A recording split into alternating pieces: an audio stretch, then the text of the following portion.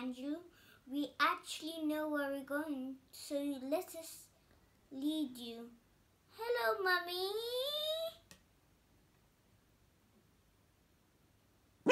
We have missed you.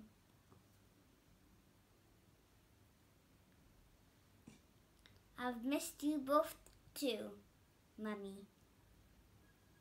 Actually, Auntie May. Hello, George boy. Mummy, can we go inside? Of course, George. We want to we want to show you our report card. Basically, lots of pictures. May's comment. Excellent report. Love that fact George has become more thoughtful. Good to hear it, it from someone who had met him early on and beginning to able to see in charge in him. Sorry, but I'm a little confused right now, and that is the end of the blog.